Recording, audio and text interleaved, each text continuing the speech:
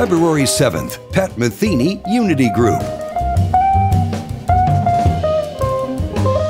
Miami is in for a once in a lifetime musical experience when the Pat Metheny Unity Group makes its Arsht Center debut.